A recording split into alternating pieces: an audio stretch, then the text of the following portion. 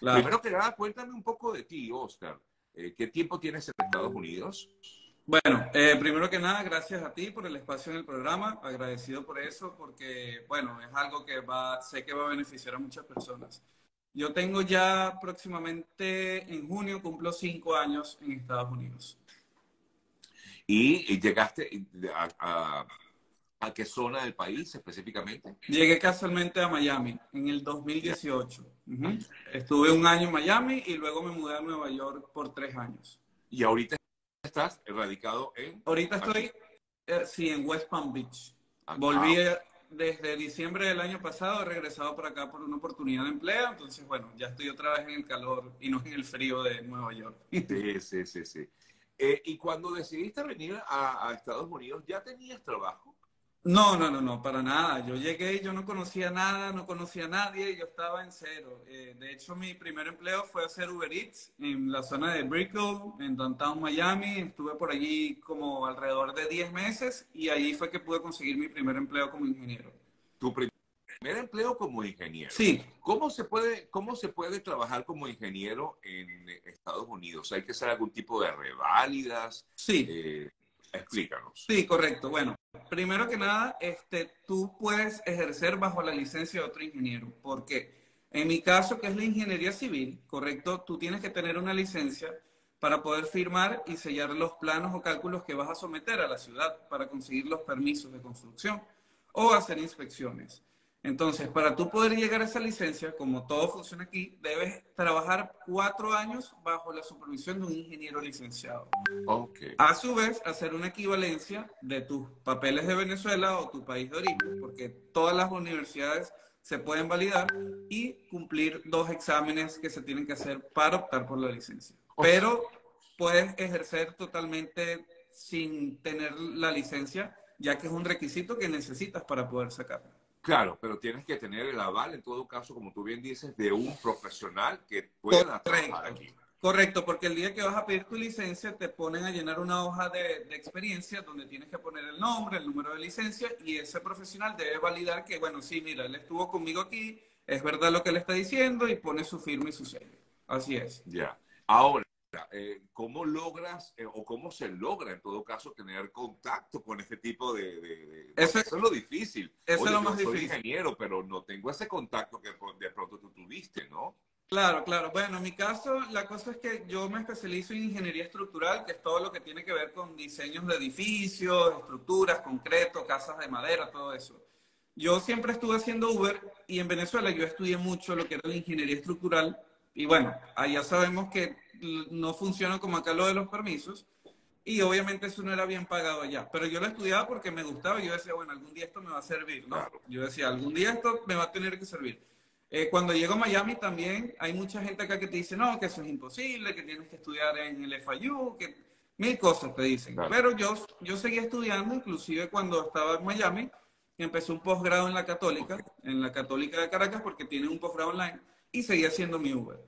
Este, luego me conseguí con un amigo que me dice, oye, mira, hay un señor en North Miami que él me está buscando para yo trabajar allá, este, pero él estaba en Chile. Él me dice, yo no puedo ir porque mi esposa no tiene visa. Yo le voy a dar tu contacto y tú entrevístate conmigo. Entonces, él me dio contacto, el señor me llamó y yo fui el día de la entrevista y bueno, gracias a lo que yo, la preparación que yo tenía, pude conseguir el empleo. Porque ellos pueden entender que tú no tienes experiencia acá, pero al menos debes tener, de tener los conocimientos básicos para poder ejercer.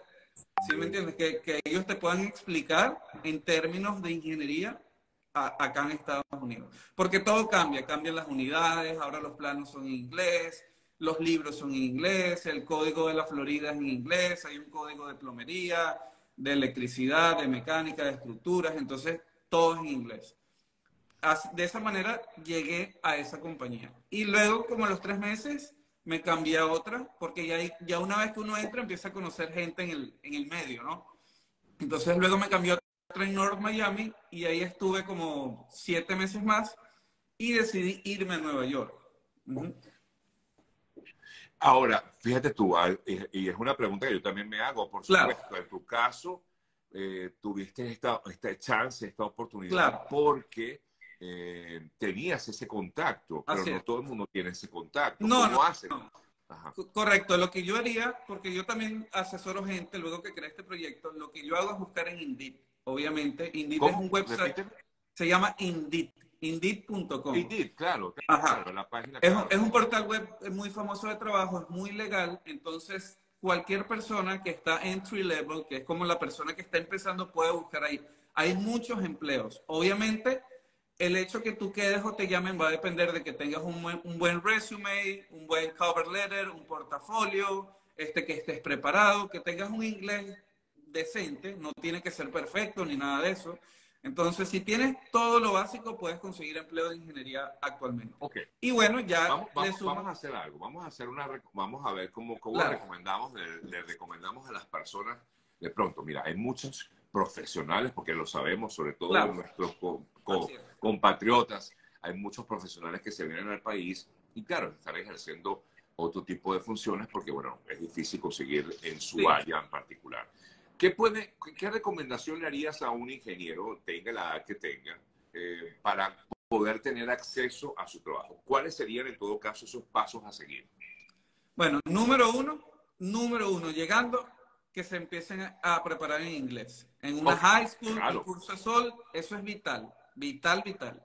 Eh, número dos, que se preparen en el área que quieran ejercer. Porque, por ejemplo, la ingeniería civil tiene muchas áreas. Está el área de vialidad, que son las autopistas que ves acá, el área de, estructuras, el área de aguas, todas esas cosas. Entonces, que se preparen a nivel de teórico, de conocimiento. Porque hay gente que estudia y lo deja ahí, más nunca se preocupó por seguirse capacitando. Y esta carrera, juro, tienes que seguir todos los días. hay muchas cosas que aprender. Eso, número dos. Eh, número tres, crear un buen eh, resumen, un, portafolio. Un currículum. Ajá, una carta de presentación. Aquí usa mucho lo que es el resumen, que es distinto al currículum, que es una hojita.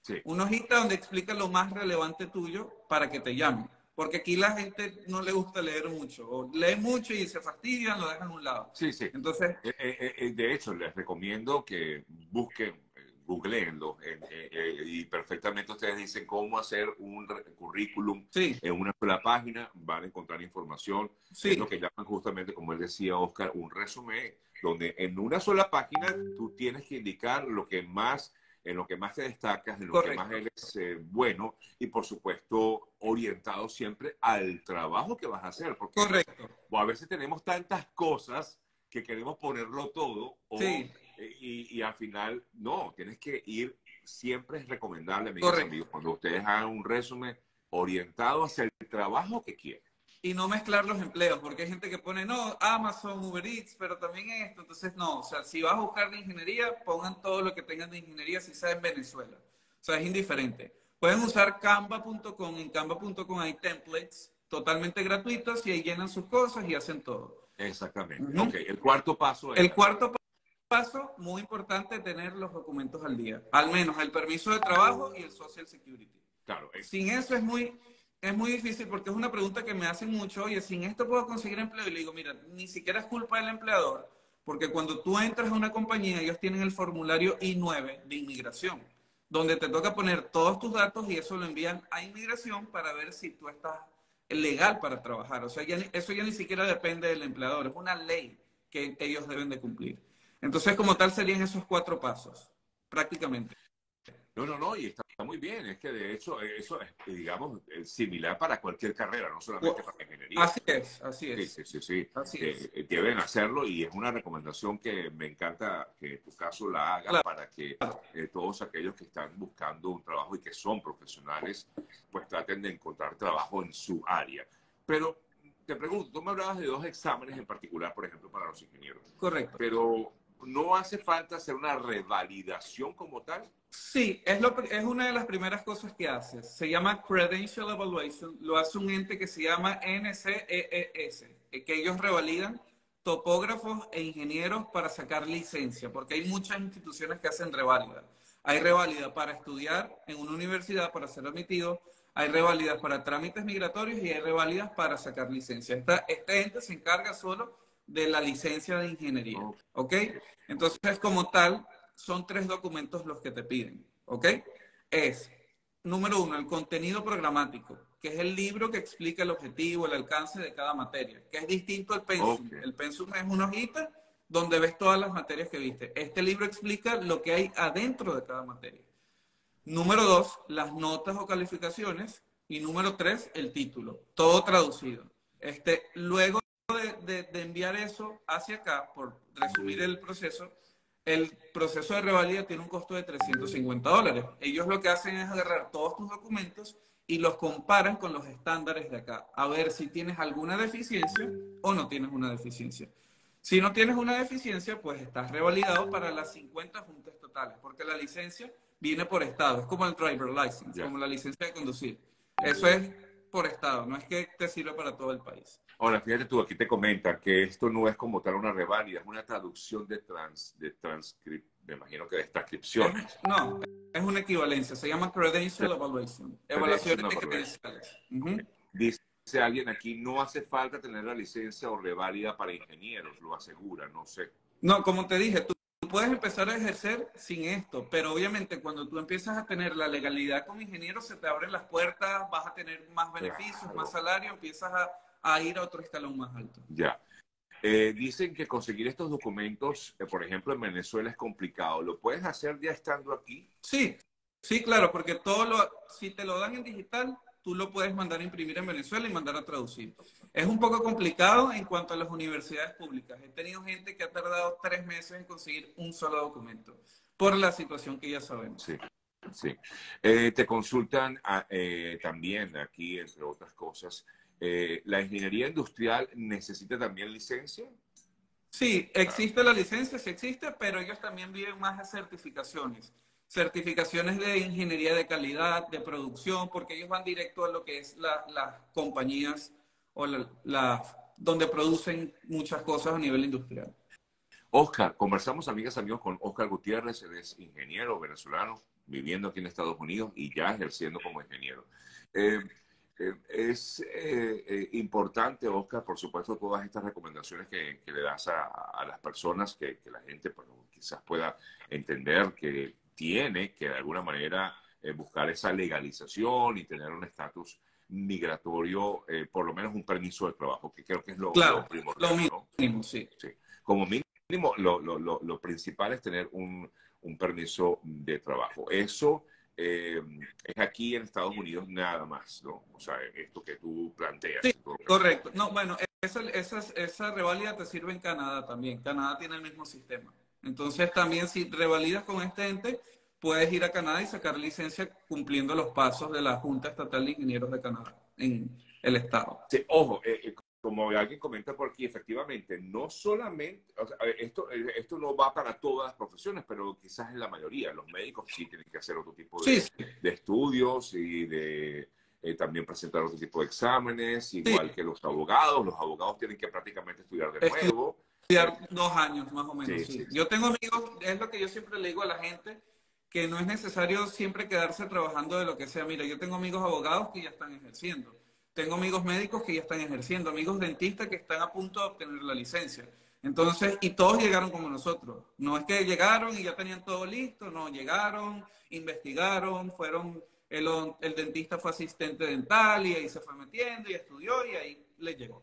Exactamente, sí. De hecho, yo conozco una médico que es muy buena, es venezolana, y comenzó trabajando pues como ayudante, auxiliar y poquito a poco, y mientras viva haciendo sus exámenes que tenía que hacer. Yo la verdad no, no conozco todo lo que tiene que hacer, pero y lo ha logrado, ya hoy tiene, pues, ya hoy es eh, eh, médico, eh, digamos, con licencia para, para poder trabajar aquí. ¿Cómo justificar el gap cuando no has trabajado en tu área? El gap es el espacio que tienes entre el tiempo que duraste desde que dejaste de ejercer en un punto y empezaste a ejercer en otro punto. Eso te lo pide también la Junta Estatal de Ingenieros. Eso te da un formulario donde tú tienes que describir qué fue lo que pasó en ese tiempo, por qué dejaste de ejercer, pero como tal no es algo tan grave. Sencillamente ellos te van a seguir contando el tiempo en el que tú estás ejerciendo para contar los cuatro años. O sea, si fue por una razón de que, bueno, perdí mi empleo, cosas así, que no fue que te votaron, que tuviste alguna negligencia por allí, no, no es nada grave. Sí, sí, no, así es.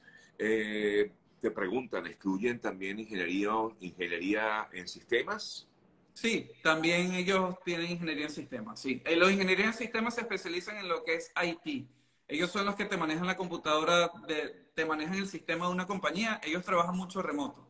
Entonces, bueno, mira, yo necesito cambiarle la clave del usuario, e, ellos le llevan la gestión a una empresa totalmente a nivel informático. Ojo, hay distintas áreas, pero esa es como la más concurrida. Ya. De hecho, eh, quiero comentar, en mi caso, por ejemplo, en el caso de los comunicadores sociales, esta es una de las pocas carreras beneficiadas a nivel internacional porque efectivamente no tienes que volver a estudiar, no tienes que ser revalida. Hablo de comunicación social para poder entrar a, una, a un medio de comunicación. ¿no? Así Yo se lo comenté a un joven que me escribió hace unas semanas, me preguntaba, Sergio, ¿cómo hiciste tú para trabajar en medios aquí? Y yo le dije, mira, cuando yo entré en Univision y trabajé en, en, Telemundo, no me pidieron nada, sencillamente mi currículum, mi resumen, que lo hice así como tú dijiste, digamos, eh, de una sola boca, eh, pero no me, no, me, no me piden ningún tipo de revalidación, ni es una carrera, gracias a Dios, pues muy benévola desde ese punto de vista. Sí, de hecho hay varios venezolanos en, en Telemundo, en las No, no, hay muchísimos, muchísimos colegas en diversos medios de comunicación. Así es. Claro que sí, Incluso en, en, canales internacionales, canales, perdón, en inglés quise decir. Sí, sí, también, así es. Eh, te consultan, eh, de repetir, ah, ¿puedes repetir cómo se llama? ¿Dónde se hace la reválida? NCEES. Si, si googlean esas palabras, NCEES, esas siglas, van a conseguir la institución. Y ahí está toda la información también. Eh, por otra parte, en, yo creé un canal de YouTube en algún punto y creé una guía totalmente gratuita de cómo revalidar. Ese fue el primer video que subí a YouTube, está en, en, la descripción del video el link, porque yo dije, oye, yo no puedo ser el único que sepa esto. Yo sé que hay otra gente que ya lo sabía, pero yo dije, yo necesito hacerle entender a las personas que hay algo más que hacer, que estar trabajando de lo que sea, que eso no es malo, ojo, pero, o sea, tiene una gran herramienta que puede expandir acá. Entonces, en mi canal de YouTube yo creé una guía de como de 40 páginas e incluye todo lo referente y tengo un video explicativo para los que quieran ir a verlo. Excelente, Oscar, me parece muy bien porque definitivamente estás orientando a muchos que quizás como tú y que no tienen, eh, digamos, o digo, empezaron como tú, no tienen claro. qué hacer y dicen, bueno, yo, pero yo quiero ejercer lo que yo estudié. Sí, sí. Yo no, esa fue mi idea, porque cuando yo empecé, yo sé lo difícil que es que exista tanta información, que nadie te diga, que nadie te oriente, entonces yo dije, bueno, esto lo tiene que saber todo el mundo. De hecho, ahorita la estoy, ya la terminé en inglés y voy a hacer el mismo video en inglés. Porque en Nueva York yo fui a estudiar, eh, eh, otra cosa que te quiero comentar, que hay un programa de reentrenamiento para ingenieros inmigrantes, totalmente gratuito, donde te ayudan con tu preparación del resume, te dan cursos en una universidad que se llama The Cooper Union, en Manhattan, por eso fue que me fui allá. Y yo estudié con colegas de, de África, de Egipto, y que ellos también están como en la misma posición de lo de la reválida. Entonces yo dije, yo también tengo que llegar a, esa gente, ¿no? Porque a muchos se los he explicado, pero sería bueno tener algo en general. Entonces próximamente haré el video en inglés para la gente que no habla español. Dale, no, no, no. Sí, bueno, ya lo saben. Eh, importante, bueno, estas recomendaciones, sé que hay muchas más. Si tienen sí, alguna arrogante en particular, no vacilen en escribirle a, a Oscar. Su cuenta en Instagram es arroba un ingeniero en USA. Eh, y como ya él decía, pues también tiene un canal de YouTube donde está dando esta información que creo que es muy importante. Aquí alguien me dice, eh, Sergio, me gustaría a mí hablar de ayudar a los venezolanos con profesión con el PAF de F1 a la residencia. ¿Cómo hacer el posgrado casi gratis con eh, no sé qué GRA? Bueno, María, escríbeme, de pronto cuadramos para otro momento y seguimos haciendo este tipo de, entrevistas que me parecen muy útiles para una gran cantidad de personas que seguramente pueden estar en esta situación. Claro, eh, repetimos, no todas las profesiones, no se puede con todas las profesiones, claro, claro. pero hay mucho talento, eh, no solamente venezolano, latino, americano. Uy, muchísimo que, mira, quiere, quiere poder trabajar en lo que eh, hizo en su país. En su país. Y, mira, hay posibilidades.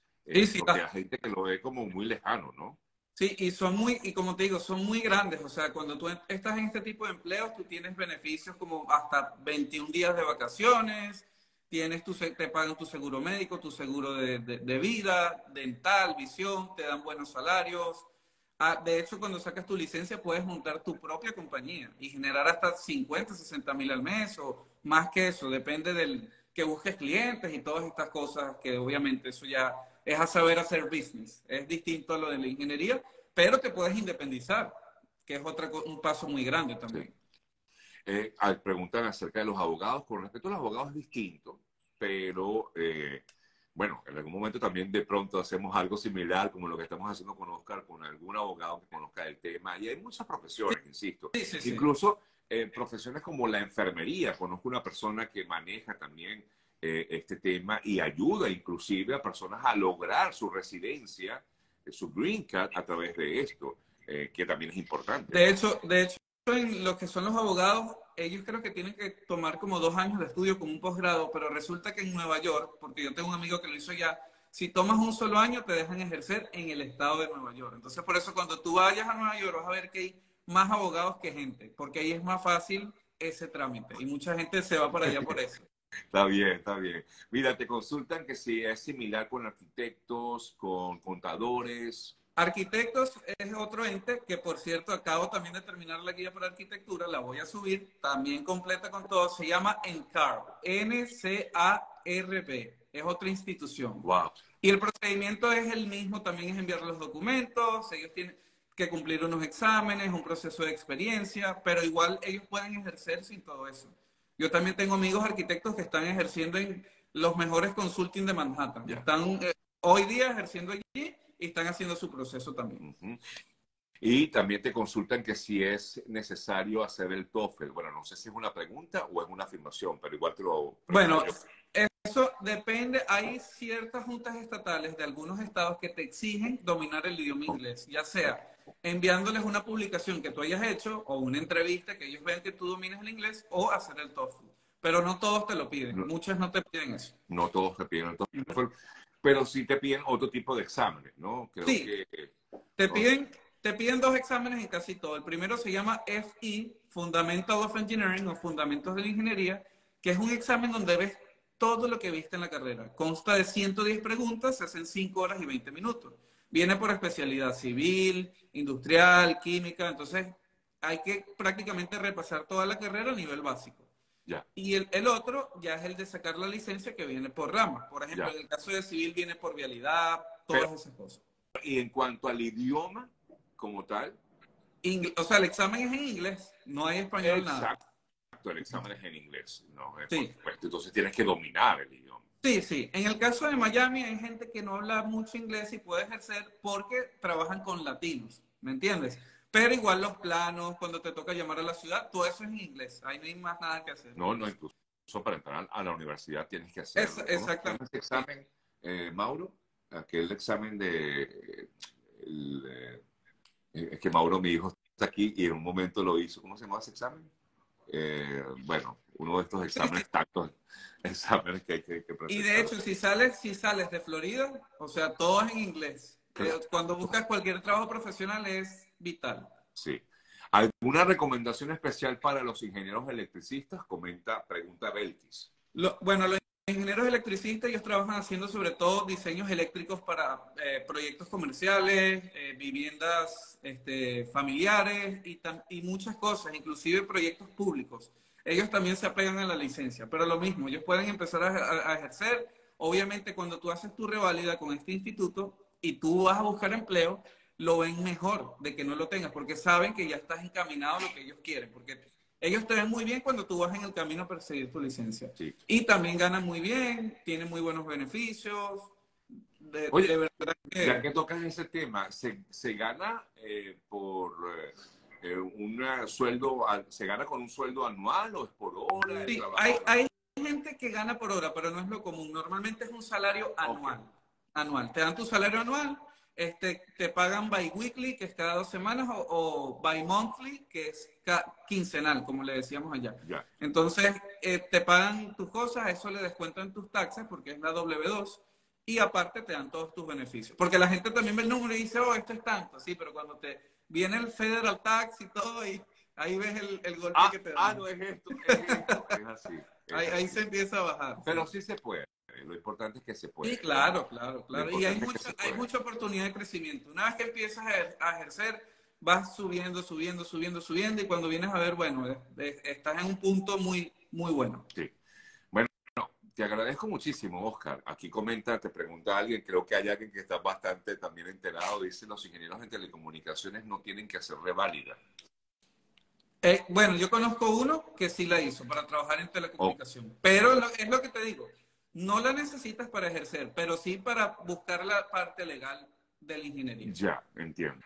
No, es que, y también dependiendo del tipo de trabajo correcto, que está Así es. Eh, brindando. Hay, hay unas ingenierías que, por ejemplo, la aeronáutica, o que no se apegan tanto a esa licencia, ¿no? Entonces, la, existe la licencia, pero la gente opta por sacar certificaciones y otras cosas. Pero, por ejemplo, lo que es civil, eléctrica, mecánica, eso es esencial que tengas la licencia. Y otras más. Pero esas tres son las que más las personas toman los exámenes y toman la licencia. Ya. Incluso eh, también te preguntaban aquí eh, acerca de mm, los docentes. No sé, los docentes no lo sé. Mira, hay, hay, una profesora que yo conozco que ella, ella es muy buena, ella es una profesora asiática venezolana, ella está en Utah. Yo te voy a dar el contacto si quizás quieres entrevistarla un día. Y ella es profesora de, de un college en, en Utah. Es muy buena gente y ella también explica. Pero es que me imagino que, a ver, todas las profesiones tienen sus, algunas que sí, hay otras que no.